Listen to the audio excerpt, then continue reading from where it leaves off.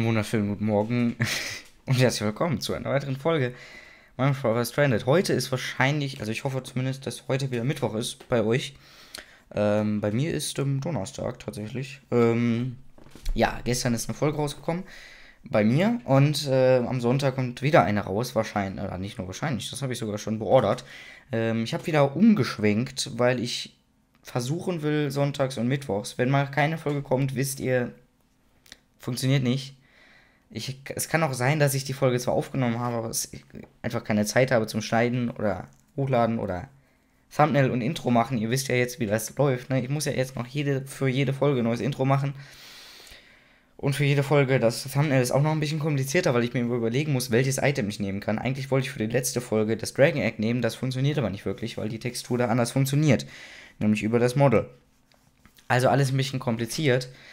Ähm, ja, und das heißt, ähm, dass es gut sein kann, dass manchmal weniger Folgen kommen. Trotzdem will ich versuchen, mehr Folgen als einmal pro Woche zu schaffen. Und deswegen sitzen wir hier. Ähm, ja, das ist im Grunde genommen das Ding. Heute geht es um etwas hoffentlich Interessanteres, denn wir haben ja den Enderdrachen besiegt und heute gehen wir tatsächlich mal in meine Testwelt. Ich glaube, keine der Welten war jetzt nicht für euch bestimmt. Ähm, all diese Welten kennt ihr nicht wirklich, aber die sind für irgendwas gedacht. Zum Beispiel für das erste Intro bei einem Welt mal. Ähm, ja. Ähm, das ist meine Testwelt hier, in der wir uns jetzt befinden. Es kann übrigens sein, dass seit langem ähm, endlich mal wieder ähm, Dings funktionieren. Äh, Desktop-Sounds, also sowas. Ich weiß nicht, ob ihr das wieder hört. Ähm, das hatte ich auf verschiedene Spuren umgestellt. Äh, die Spuren waren dann aber nicht aktiviert. Ähm, ja, also das ist, ähm, also die eine Spur war nicht aktiviert von dem Dings, deswegen ist das alles ein bisschen äh, schief gelaufen. Also ein bisschen komisch, aber naja. Hier sind einige Dinge, die euch auch sehr gut betreffen, und zwar unter anderem das hier, denn das Geheimnis ist irgendwie immer noch nicht ganz gelüftet. Was sind die beiden Mods? Und ähm, ja, gut, ich meine, ihr habt es jetzt wahrscheinlich schon ein bisschen gesehen. Ja, ich meine, ihr habt auch den Dire Crafting Table doch schon irgendwo herrschen können, oder? Ich meine, bei ganz vielen Rezepten stand hier immer dieses Extreme Crafting. Also was kann ich aus Apples machen? Ich kann eben nicht nur irgendwelche Sachen hier machen, sondern ihr habt das bestimmt schon gesehen, dass da auch dieser Tab mit Extreme Crafting war, okay? Ähm, ja, und das heißt, ihr habt auch das hier vielleicht schon gesehen und auch der zweite Mod, die zweite Mod, ähm, ist tatsächlich einfach nur ein Add-on zu Avaritia, nämlich More Avaritia, was einfach nur ein paar Rezepte hinzufügt, die, zu denen ich dann noch komme. Das hier ist eine Produktion, wie wir sie so ähnlich wahrscheinlich haben werden. Und so ähnlich haben wir sie tatsächlich auch schon, was uns ermöglicht, heute das erste Kreativ-Item zu herstellen, aber herzustellen. Aber das ist, also regt euch auch nicht auf, das ist jetzt nicht so richtig krass, ja. Also ähm, beruhigt euch. Ähm, ja, das hier ist, sind Neutron Collectors von Avaritia. Avaritia ist eine Mod, die bestimmte relativ viele. Ja.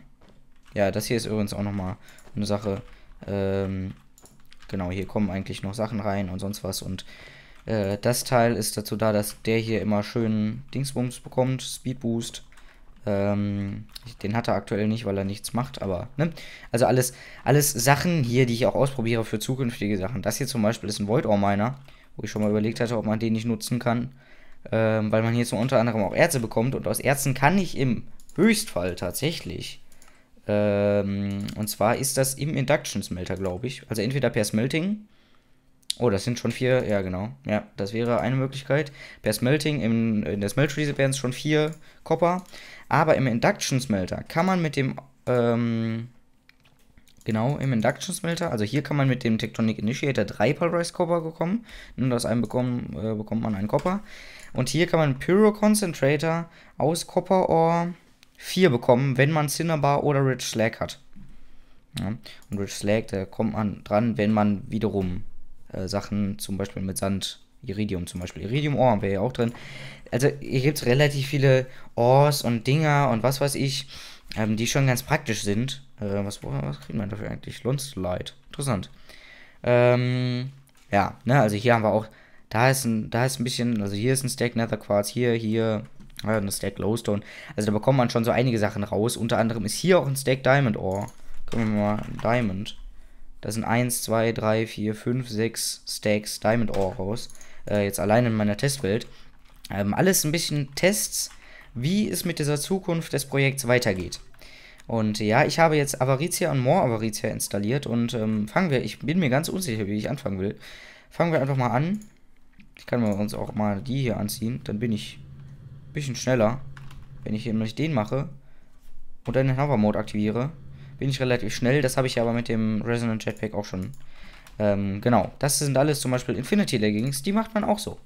Ähm, das ist nur ein bisschen komplizierter, ähm, weil man das nämlich mit den mit den Teilen craftet und die müssen wir in Hülle und Fülle craften. Aber fangen wir vorne an. Aber was macht Avaritia? Avaritia, falls ihr das nicht kennt, oder ich kannte das vorher auch schon so ein bisschen, aber nicht so wirklich viel. Ähm, Avaritia ist im Grunde genommen einfach nur eine Endgame-Mod. Das heißt, die fügt halt Rezepte hinzu ähm, für Endgame-Sachen, wenn man wirklich alles hat. Das geht auch in Vanilla, also dass man alles Essen zusammen, zum Beispiel zusammen craften muss und das dann wiederum zusammen craften muss. Es gibt das allerdings auch als krassere Variante, wenn man dann noch mehr Mods installiert hat. Zum Beispiel haben wir, das ist eine alternative Methode, um mehr Erze zu bekommen, zum Beispiel, obwohl wir hier auch nur 19 rausbekommen haben. Äh, wenn man zum Beispiel das nimmt, das nimmt, das nimmt, ähm so, nee, wir brauchen die Ultimate Stew zum Beispiel. Von hier bis hier ist alles Pam's Harvestcraft. Alles Pam's Harvestcraft und es wird euch wundern, wir können all das, also gut, hier ist noch ein String, teilweise ein Maple Syrup, aber wir können fast alles davon durch den Market bekommen. Das, da kommen wir alles noch zu. Wir müssen Ultimate Stew craften, denn wir brauchen Infinity Catalyst für Infinity Ingots, für Infinity Blöcke zum Beispiel auch, unter anderem um das Creative Conversion Kit zu machen. Warum kann ich ein Creative Conversion Kit machen? Die normale Mod Avaritia fügt ein Rezept hinzu für die Creative Energy Cell. Creative Energy, Energy Cell. Es gibt eine Creative Energy Cell von Applied Energistics, auch die kann man craften. Das ist aber nicht die, die ich meine. Das hier ist auch More Avaritia. More Avaritia, also ich, es gibt in diesem Modpack hier keine Creative Energy Cell, weil das in der 1.10 geändert wurde, wie Creative Sachen funktionieren. Die funktionieren jetzt nur noch per Creative Conversion Kit. Ja. Ähm, aber More Avaritia fügt wiederum Rezepte hinzu für naja, ich sag mal, ein paar mehr Sachen. Ähm, selbst Extreme Reactors brauchen wir zwar nie, aber ähm, unter anderem das Creative Jetpack können wir uns irgendwann craften. Das ist krasser als die Dark Solarium, die ist Tier 5 und das ist Tier 6. Ähm, das Creative Flux Pack tatsächlich nicht. Das Creative Storage Upgrade, seht ihr, braucht gar kein Infinity Ingot. Könnte das das sein, was wir heute craften werden? Eventuell. Naja. Ähm, das Creative Vending Upgrade. Und ich glaube, das ist das Upgrade, was wirklich dafür sorgt, dass ich unendlich davon bekomme. Das gibt's nicht. Ähm, wir können also damit mit den äh, Storage Drawers nicht unendlich Items bekommen. Ähm, aber es gibt das Creative Modifier, was dann wahrscheinlich einfach jedes Mal ein Modifier addet. Das ist gar nicht so kompliziert, weil es als einziges zum Beispiel nur einen Infinity Catalyst benötigt und keinen Infinity Ingot, der nochmal viel krasser ist. Aber es benötigt Slimeball, ähm, die, die Slimeball Purple. Ähm, und Night Slime auch noch. Ähm, das braucht auch hier mit dem Alloy, braucht auch Liquid Purple Slime.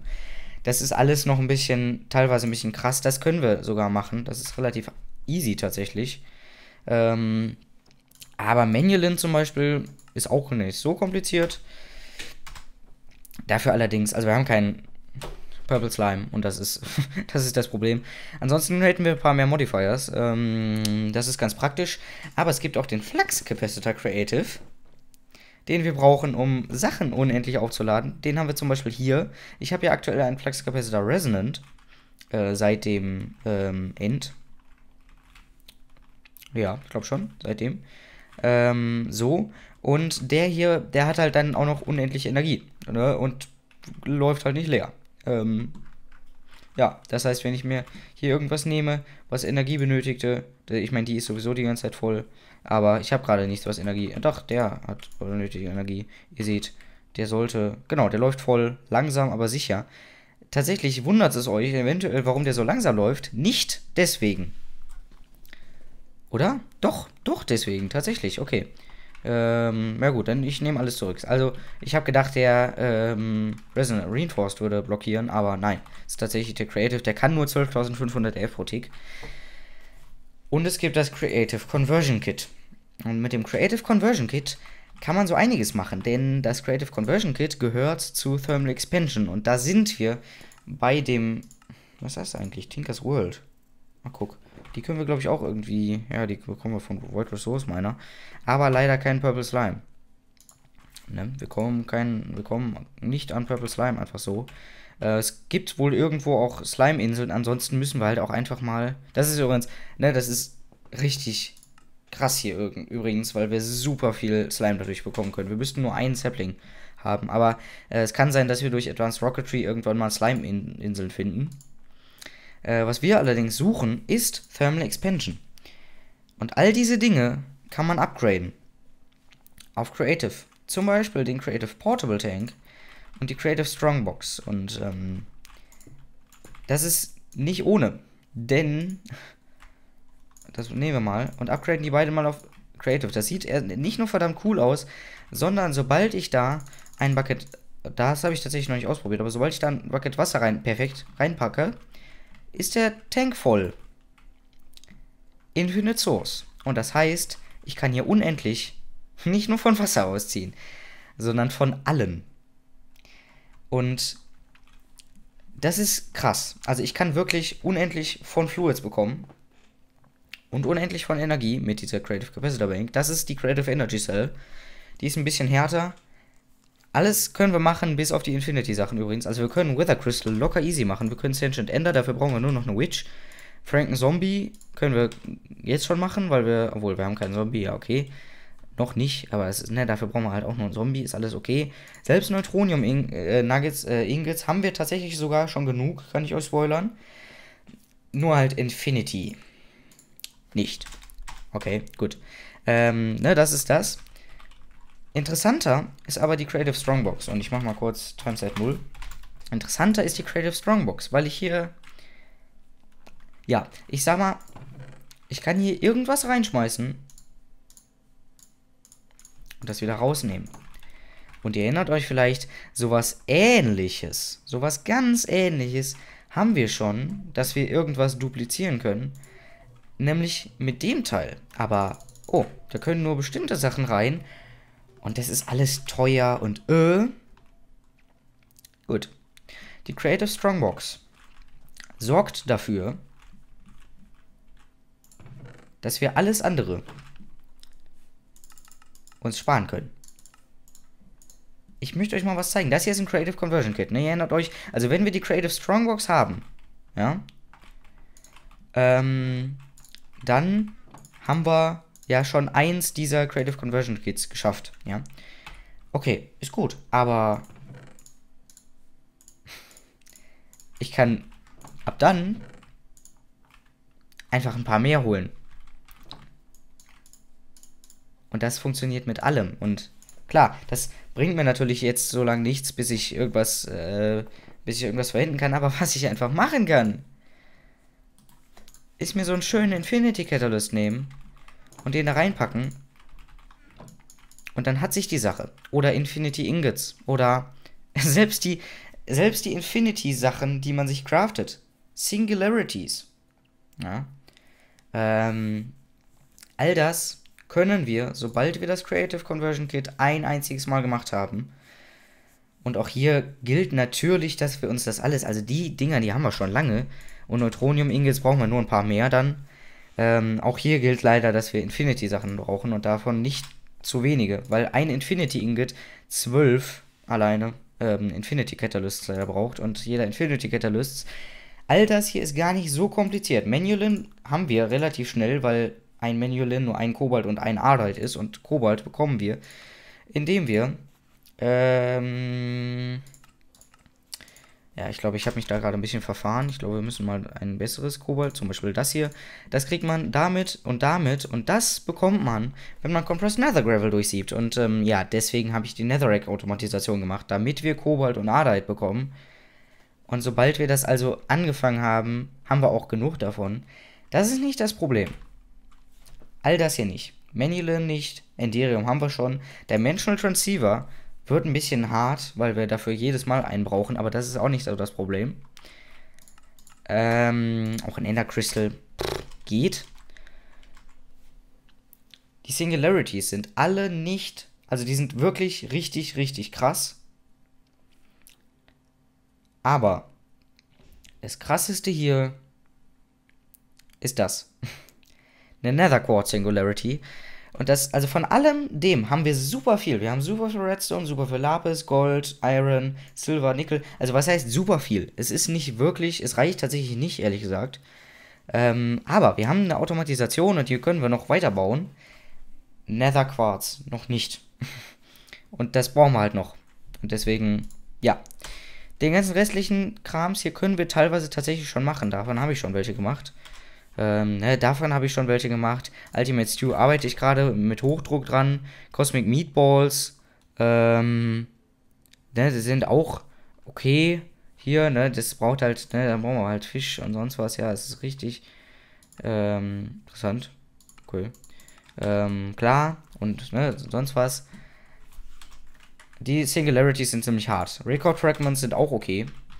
Ähm, also, seht jetzt nicht, dass wir das, dass das jetzt super einfach ist, aber sobald wir das Creative Conversion Kit haben, haben wir unendlich von allem. Okay, ich kann hier, ich kann mir einfach, ich kann hier einfach die Creative Strongbox abbauen und die da reinlegen, oder? Kann ich nicht? Geht das nicht? Ah, ja, das kann sein, dass das nicht geht. Aber ich kann einfach Creative äh, Conversion Kits und Strongboxen da reinlegen. Dann müsste ich die nur noch zusammenbauen. Dann haben wir auch davon unendlich. Okay? Also wir werden nichts mit dem Creative Conversion Kit machen, außer diese Strongbox. Und dann haben wir aber auch endlich äh, alles. Wir werden trotzdem vorher noch ein paar andere Creative Items machen. Zum Beispiel das gute Teil hier, weil das nicht ganz so viele Infinity Ingots braucht. Oder auch äh, eventuell das gute Teil hier, weil das auch nicht wirklich viele Infinity Ingots braucht. Äh, das gute Teil hier könnten wir eventuell auch vorher schaffen, wenn ich bis dahin Advanced Rocketry gemacht habe. Ähm, selbst das Creative Jetpack, genau, das Creative Jetpack ist sogar verhältnismäßig sehr einfach, ähm, weil es gar keine Infinity Ingots braucht. Ähm, ja, aber dann, das ist der Plan. Wir machen Creative Items und Ihr kennt ja die Geschichte von Creative, äh, von, vom Creative, von der Creative Capacitor Bank, von ähm, äh, Kev, äh, Spark, äh, Skate, danke. Äh, ihr kennt ja die Geschichte von Skate. Der hat das folgendermaßen gemacht. Der hat hier einfach, ähm, einfach mal so schön so ein paar, ähm, ich brauche eigentlich mal gerade kurz, die Teile wären schon ganz schön, äh, die ich brauche. Warum findet man die nicht? Florps. Vielleicht ist das noch das nächste. Ne, das ist Better with Mods. Gut, ich brauche einfach nur einen. Äh, was brauche ich denn? Ich brauche einen Kryo. Ach, der ist der gar nicht. Der ist gar nicht von. Kann das sein? Der ist von Thermal Dynamics, okay. Äh, das ist ein Crafting-Item und der kann Infinite AF machen. Äh, das brauchen wir auch. Ähm, und dann hat er da den Tesseract, den es hier leider nicht gibt. Ja, es gibt hier keinen Tesseract, ja. Aber es gibt den sogenannten äh, Dimensional Transceiver. Und der Dimensional Transceiver ist ein bisschen was wie ein Tesseract, nur leider nicht ganz so stark. Und der hat das ja in etwa so. Bam, upsala, bam, bam, upsala, bam, bam. So, die sind jetzt alle aktiviert und können irgendwo hinschießen. Und ähm, ja, die können normalerweise 50.000 EF pro Tick nur versenden. Tesseracts sind unbegrenzt. 50.000 EF pro Tick sind nicht 500.000, denn Skate hat in seiner Creative Energy Cell leider nur 100.000 Max IO. Das gute Teil hier hat 500.000. Und das bringt uns schon so einiges, weil wir alle sechs Seiten an, so anschließen können in der Art. Ja, wir pumpen mit all denen dann einfach in einen Tesseract. Wir können mit allen sechs Seiten können wir diese Konstruktion da aufbauen. Ja, und dann dann ähm, haben wir 3 Millionen RF pro Tick in unsere, äh, in unsere Stromproduktion fließen, in unser Stromsystem. 3 Millionen RF pro Tick. pro 20. Sekunde. Okay, gut. Jedenfalls können die ja nur 50.000 EF machen. Sehr schade. Ähm, nee, können sie nicht.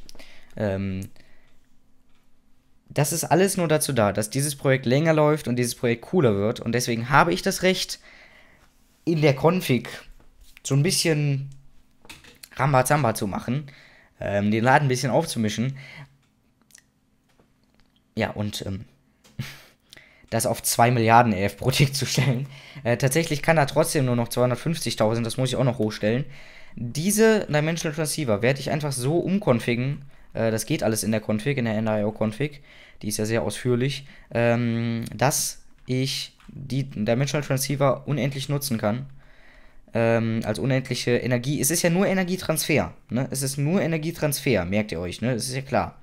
Ähm, ne? Aber äh, so an sich, all das muss ich mir dann auch verdienen, damit ich wirklich auch eine vernünftige Produktion auf die Beine stellen kann. Ja, ansonsten bringt das ja alles nichts. Ja, so. Ähm, gut, das ist der Plan für die Energie und für alle Creative-Sachen.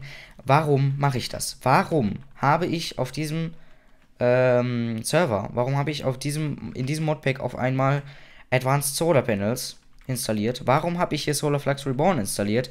Und warum habe ich jetzt auch noch Avaricia und More Avaricia installiert, obwohl uns das ja jetzt nicht wirklich Vorteile bringt, außer wenn wir es dann haben. Ähm, so. Nur das, äh, die Advanced Solar Panels und Solar Flex Reborn. Warum mache ich das? Ähm, dieses Projekt hier gefällt mir sehr, sehr gut. Verdammt gut. Ähm, ich schalte mal kurz um. Äh, verdammt gut. ähm, und ich habe das Projekt gestartet und fand es schon wirklich cool, weil ich mir dachte, das haben die doch mal gespielt, Swag und Cave. Und das fand ich irgendwie ganz cool, ja. Ähm, kann man das nicht auch selber machen? Kann man das nicht einfach mal als erstes Projekt spielen, weil man ganz viele andere Dinge ausprobiert hat? Ich habe eine Folge 4 Skyblock auf meinem PC, die ihr nie zu Gesicht bekommen habt und auch nie zu Gesicht bekommen werdet, weil was schiefgelaufen ist. Also es funktioniert auch nicht, deswegen ist Cry Factory 3 beendet worden. Ähm, ich mache mal Timeset 0 nochmal. Ähm, ja, also ich habe viel ausprobiert. Forever Stranded hat gewuppt. Einfach. Und es hat wirklich, es ist wirklich cool, das Projekt. Nur nicht cool genug. Und ähm, ich sage euch mal folgendes: Wenn wir Advanced Solar Panels nicht hätten, wenn wir Solar Flux Reborn nicht hätten, dann hätten wir uns die Hälfte der Folgen sparen können. Weil das alles zunichte wäre. Wir haben nicht die. Ups, Entschuldigung, wir haben nicht die Möglichkeit, irgendwas krasses hier zu machen. Ähm, ohne Mods, die krasses erlauben. Und wenn wir immer noch mit der Stromproduktion rumgedümpelt wären von Immersive Engineering, mit diesen äh, Teilen mit Pyrotheum und Kryotheum, ne, äh, wie heißen die? Ich weiß es nicht, ist mir auch egal. Ähm, wenn wir mit der Stro Stromproduktion da rumgedümpelt wären und mit Advanced Rocketry Solar Panels und was weiß ich alles, dann wären wir heute noch fertig, non, heute noch nicht fertig mit der ersten Erzproduktion, ja. Ähm, das alles ist einfach nur dazu da, dass dieses Projekt deutlich interessanter wird. Für mich, für euch. Und dass ich einfach deutlich mehr machen kann am Ende, am Anfang und überhaupt. Und deswegen ist ja auch Avaritia. Ihr könnt euch nicht wirklich, also ihr könnt, gut, ihr könnt euch natürlich darüber beschweren, dass ich Avaritia installiert habe. Es ist nicht äh, normal auf diesem, auf dieser, auf diesem Modpack, klar. Da könnt ihr, das könnt ihr machen. Ähm, aber lasst es mich zumindest erklären, okay? Wenn wir Avaritia nicht hätten, würde sich für uns wenig ändern, außer dass dieses Projekt zu Ende wäre mit Advanced Rocketry mit wahrscheinlich auch einer coolen Insel. Ähm, und mit der Dirt, also eine Million Dirt, Diamonds, Gold, was weiß ich, Quest. Und mehr nicht. ähm, ja, wenn wir Avaritia nicht hätten. Jetzt haben wir Avaritia und das gibt uns die Möglichkeit, dieses Projekt wirklich eventuell Jahre noch weiterzuführen, weil wir irgendwie an diese Creative Items kommen müssen. Ähm, und ich sage mal so, ich sage ich sag es ganz ehrlich, man merkt das nicht wirklich, aber dieses Projekt wäre bald vorbei gewesen. Also, ohne Spaß, wenn ich mich wirklich auf das Projekt nur konzentriert hätte und nicht sowas wie Avaritia noch in, im Hintergrund mir überlegt hätte und Wut und was weiß ich, dann wäre das Projekt eventuell jetzt langsam zu Ende. Ich meine, klar, eine Million Diamond Blocks ist nicht wirklich wenig. Das hätten wir schon noch irgendwie machen müssen, aber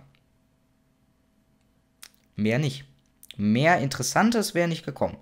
Ich weiß nicht, ob dieses Projekt überhaupt interessant war bisher. Deswegen habe ich Avaritia installiert, damit wir eine Herausforderung haben für die Ewigkeit.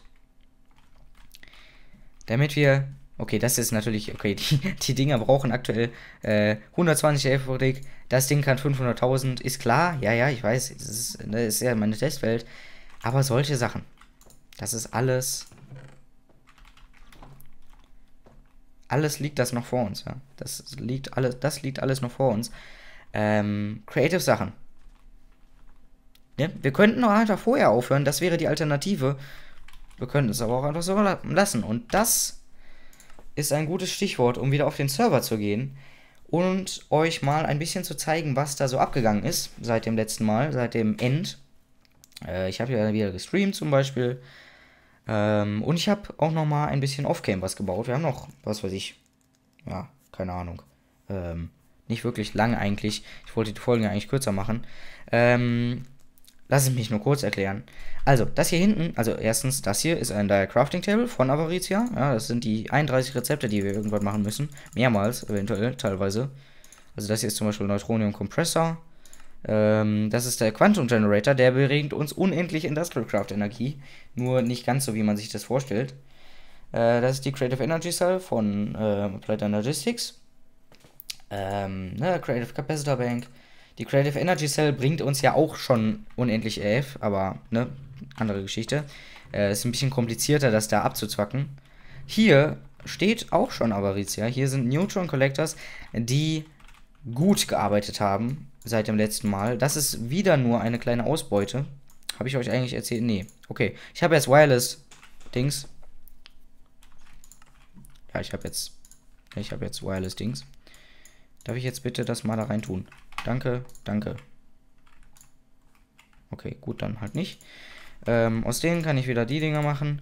Da haben wir nochmal vier. Und das heißt, wir haben insgesamt Neutron oder Neutronium. Ist das? Nee, Neutron. Das wäre Pile of Neutrons. Das wäre Neutronium. Ähm, und damit haben wir jetzt 20 ähm, davon Ingots. Ja, und das ist äh, das, der Ertrag von seit gestern, seit ich diese 6 hier hingestellt habe, das ist nicht wirklich viel, die werden alle automatisch extracted hier. Ähm, in diese Kiste halt. Wie gesagt, da kommt auch nicht so viel zusammen über Nacht. Das hier allerdings, da kommt sehr viel zusammen über Nacht. Und ähm, ja, das ist der Grund, warum ihr hier drin seht, dass wir zum Beispiel 2500 Sulfur haben und 5000 Netherstars. Ähm, ja, wir haben auch unter anderem, übrigens, ne, wir haben auch 200 Dragon Eggs und 1800, glaube ich. Yep, 1800 Dragon's Breath. Ähm, alles wegen dieser Wutmob Farm. Alles ein bisschen kompliziert, ehrlich gesagt. Ähm, die Wutmob Farm generiert Mob Drops. Ja, äh, mehr macht die nicht. Und das ist schon wieder ein bisschen was an Ertrag kümmern wir uns eventuell ein andermal drum. Jetzt heißt es das allererste Creative Item machen. Und das ist ein schönes Ende der Folge, die mal wieder ein bisschen zu lang geworden ist. Aber ich hoffe, dass diese Folge wirklich schön interessant geworden ist. Wir machen ein paar davon tatsächlich. Äh, dafür brauchen wir aber erstmal wieder ein paar Chests. Danke. Äh, machen auch mal einen Stack. Ich meine, wir haben es ja, ne? Und wir brauchen tatsächlich auch noch einige von den Drawern hier. Ähm, ich sage einfach mal, was weiß ich, wie viel brauchen wir. Wir brauchen einfach mal einen halben Stack. Ich habe wirklich keine Ahnung. Äh, wir brauchen jede Menge Upgrade-Templates und tatsächlich sind ja diese Drawer dafür auch gedacht eigentlich.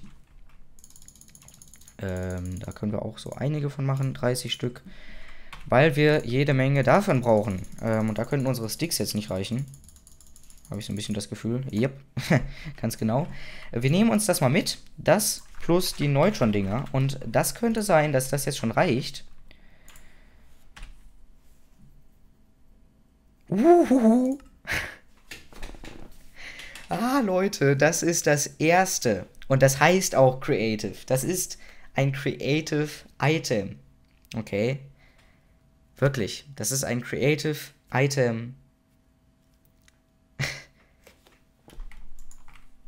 das ist genial, echt. Das, das, das war gerade das erste Creative Item. War jetzt nicht so kompliziert. Ich verspreche euch, die restlichen werden komplizierter. Das kommt hier rein, damit wir... Stack Limit, unendlich. Ah, cool. Near Infinite Storage. Stack, Stack Limit unendlich. Das Void Upgrade brauche ich nicht mehr. Wir werden Millionen von Cobblestone. Also wir haben schon Millionen. Wir haben mehr Flint als Cobblestone. Och, nee. Darum müssen wir auch mal noch was dran ändern. Vorher sage ich allerdings Danke fürs dabei sein. Das war eine coole Folge, hoffe ich. Ähm, sehr interessant, nehme ich an. Ich muss mal kurz hier mein Fruit Salad essen. Ähm, ja, danke fürs dabei sein. Ich hoffe, ihr könnt meine Na Schritte nachvollziehen. Jetzt habe ich es auch ein für alle Mal in der Folge geklärt, worum es hier geht und wie es weitergeht. Ähm, ja, danke fürs dabei gewesen sein. Macht's gut. Bis nächstes Mal. Wenn wir auch wirklich mal wieder mit Inhalt weitermachen. Tchau.